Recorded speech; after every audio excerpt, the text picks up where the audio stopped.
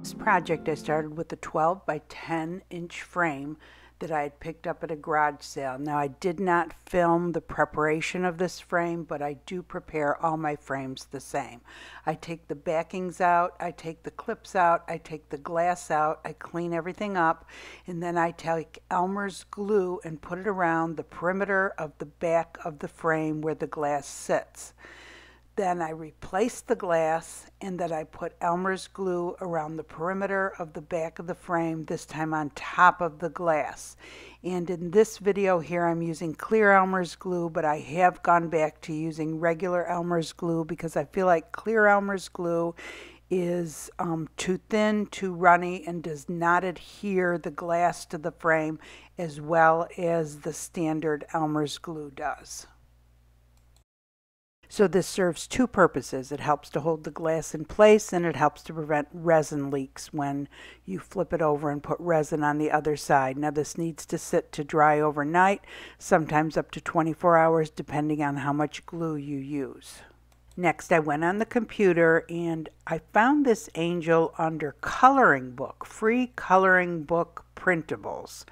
And I brought it into Microsoft Word, copied and pasted it, enlarged it to the size I wanted, then printed it out, then cut it out and taped it to the back of the glass. Then I took Elmer's glue, and this is clear Elmer's glue I'm using, and put it around the perimeter of the angel, working with one area at a time. So here I've done the red dress. These are four millimeter rhinestone chains, and I put it on top of the clear Elmer's glue that I've just outlined the angel with. So um, when I'm done with this, I go ahead and I outline the wings. And again, I use a four millimeter rhinestone chain. This is a little different color. It's a gold gold rhinestone chain and these chains do need to be cut and I have a um, heavy duty scissors that I picked up on Amazon you'll see it with the black handle I believe this would could be cut with the regular scissors but I think you would ruin your regular scissors if you did this is a real heavy duty scissors that I have and just because the pattern um, follows a certain way, you can change it up if you want. I found it easier. I think there was four little um, divots on the bottom of each of the wings, and instead I made three. I thought that was a little bit easier. You don't necessarily have to follow it exactly. You can change it up any way you want. And then next, um, I took a two millimeter rhinestone chain and outlined the hair. Now, the order I'm doing this in, um, if I had to do it again, would be a little bit different. I ended up painting the hands and the face because I didn't want to cover them with glass. And um, that would have been the first thing I did after I taped the pattern to the back. So I kind of did this a little backwards, but I really didn't know what I was going to do for the face and the hands yet and um, I do end up painting it, but I end up getting paint a little bit on the rhinestone, so that's why I would absolutely do the paint first. So then for the halo on the top, again I use the clear glue and I use the 4 millimeter chain to create the halo at the very top. And then for the hands, I use the 2 millimeter chain and I go ahead and use the glue and outline it with the 2 millimeter rhinestone chain. Now here you see me painting the face and the hands. This is regular um, acrylic craft paint. Just kind of got a skin tone. You can um, do it any color you like. And um, the thing about painting on glass, it's more difficult than painting on a canvas, is that you have to um, paint each layer separately. In other words, you have to let the paint that you put on completely dry before you put on the next layer. And when you're painting on glass, you end up having to put like three layers of paint on. So you have to let it completely dry and then go back and do it again. And the reason you have to do that is because it will, if you go to put it on too soon while it's still wet, it will actually pull up the previous layer of paint And again, I would have done this in the very beginning before I put any rhinestones on if um, I had to do it again. After you take the paper off, be sure to hold it in front of a window to look at the paint to make sure there's no um, real thin areas that you can see through. Otherwise, you have to give it another coat of paint. So make sure your coats of paint are thick.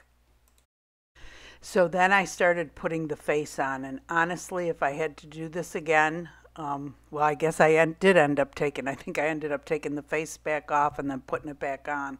What I used was uh, the two millimeter crystal rhinestones, and I used the black for the eyes. I used four rhinestones each, and then for the mouth, I used five two millimeter crystal rhinestones to make the mouth. And the mouth I shaped going up so it looks like she's smiling, and the eyes down so it looks like her eyes are closed. And then I put in Ashland decorative filler, the red and yellow. Even though it looks gold, the name of it is yellow. If you're looking it up at Michael's, it is yellow. And I was kind of messing around with the hair here. Um, I think originally I'd put some clear glass in it, and then I ended up using the red or the red the gold beads. And I did put some Elmer's glue down first so that the beads wouldn't pop all over the place but it looks like they ended up doing it anyway.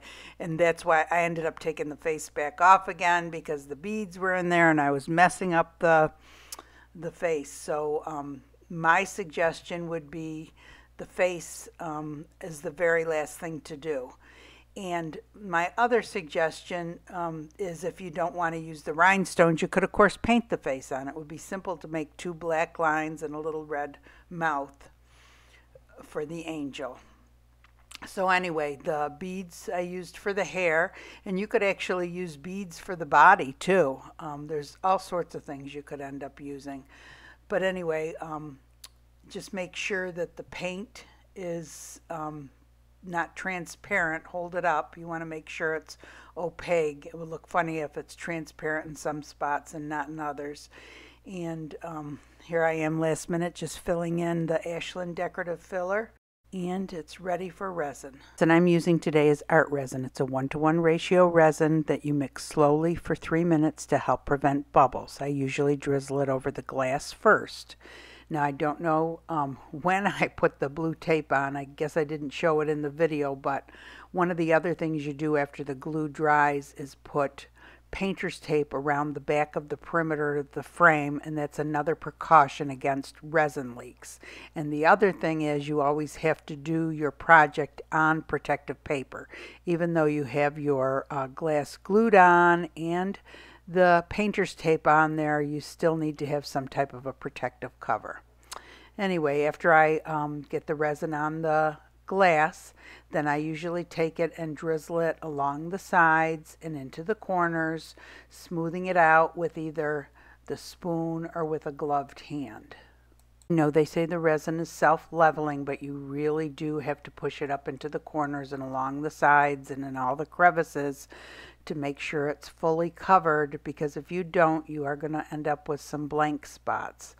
Um, the other thing with resin is you really have to get down eye level to it and look at it from all angles because uh, it's very hard to see residue in it when you're looking at it from the top and you'd be surprised what you can see from getting down eye level and then turning the project um, I usually use a toothpick to get anything out that doesn't need to be in there and to and also to move glass and things around.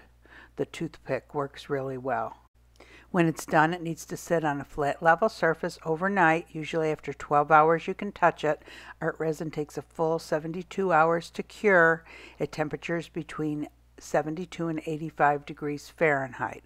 And there I just use the little kitchen torch to get rid of the bubbles. Usually I wait about another 20 minutes and then reuse the, the torch because um, some of the bubbles you can't get rid of and as they move to the surface it's easier to get rid of them a few minutes later. Resins are different. You need to read the directions for your resin. Hey everyone.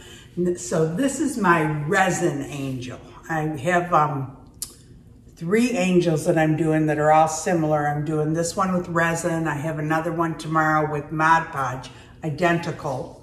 And then without any of the rhinestone chain. So I really like these rhinestone chains because it makes nice, neat edges on it. But um, if you don't have the, the rhinestones or don't want to invest in it, you, um, you know, you don't have to, of course. So that rhinestone chain for 16 yards, it's, um, I think, or is it 10 yards?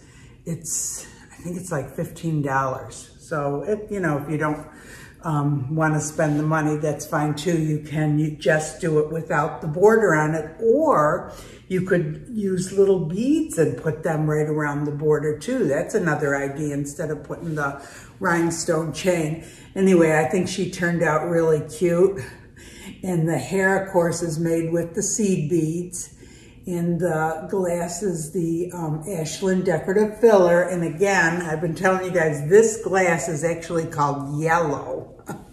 it's not gold. It looks gold.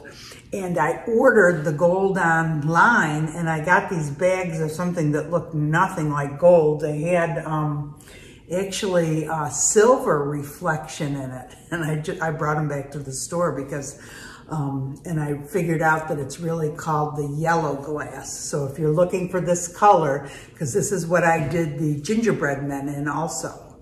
So um, that's what you have to order. So anyway, I think she turned out real cute. It was a simple project. And um, I hope you guys enjoyed it. If you did, give it a thumbs up. If you want to be notified of future videos, go ahead and subscribe. And I hope you all have a great day. Thanks for watching.